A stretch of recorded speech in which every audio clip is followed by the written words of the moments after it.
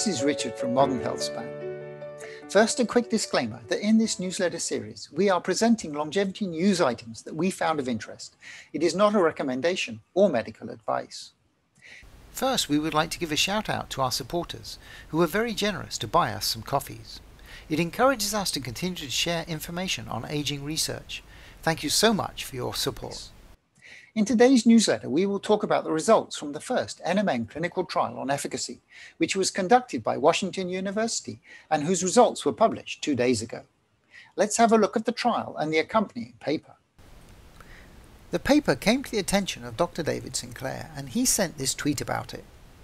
Here is the paper. Let's have a look at the trial first. The trial is the effect of NMN on cardiometabolic functions. The study is looking at how NMN helps with cardiovascular and metabolic functions, specifically those that are important risk factors for diabetes and cardiovascular disease. In this case, they are looking at how NMN helps with insulin control of blood sugar. They looked at a panel of other markers such as blood lipids and body fat as well.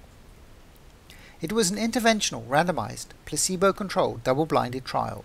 There were 25 participants 13 of them on NMN and 12 taking the placebo. The intervention was to take 250 milligrams of NMN a day for at least 8 weeks. The trial actually lasted for 10 weeks.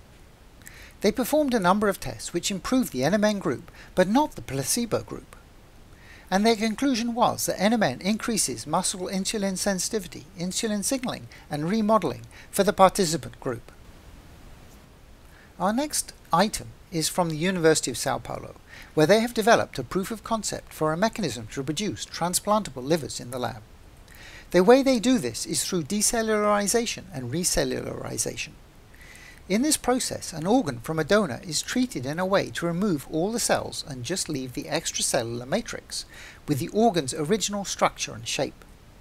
The matrix can then be seeded with the patient's cells and regrown which avoids the immune system reacting. This not only avoids the risk of rejection, but also the need for the patient to take immune suppressing drugs, which open them up to other infections and often have negative side effects. So this process will lead to both lifespan and healthspan extension. As a proof of concept, they used a rat liver. They seeded it with a human-induced pluripotent stem cells produced by reprogramming adult skin cells.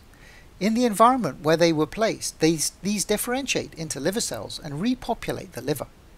So the patient will get a new, reconditioned liver with no concern of rejection. Given the number of people waiting for transplants and the difficulty in finding a compatible donor, this is really interesting proof of concept. The University of Cambridge has announced that they have used cryomicroscopy to map the structure of human telomerase at the atomic level. As a quick reminder, Telomeres are the caps at the end of chromosomes, and they get shorter with every cell division. Telomerase is the protein that rebuilds telomeres, and so allows a cell to continue to divide. In humans, telomerase mutations are linked to premature aging diseases in which telomerase functions are decreased. The hope is that through this high resolution structure we can understand the molecular pathology of these genetic diseases. On the other hand, upregulation of telomerase can lead to cancer where cells replicate indefinitely. Currently, there is no telomerase-based therapies. However, this atomic model provides a framework for them to be developed.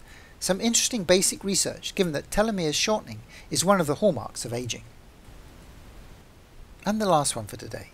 Acetylated tau inhibits chaperone-mediated autophagy and promotes tau pathology propagation in mice. We recently had an interview with Professor Cuervo, one of the key authors on this paper, and talked about autophagy in general and chaperone-mediated autophagy in particular. Please do watch that video series if you would like to know more. Tau is a protein that occurs in the brain, and when its homeostasis is disrupted, it can lead to neurodegenerative diseases, such as Alzheimer's. The acetylization of soluble tau is an early sign of this.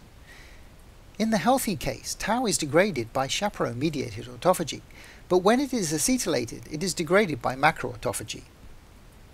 Acetylated tau seems to inhibit CMA, and this seems to cause propagation of the pathogenic tau to other cells.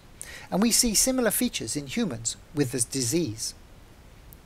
The conclusion is that the failure of CMA is part of the process that leads to tauopathies, such as Alzheimer's, and could aggravate disease progression.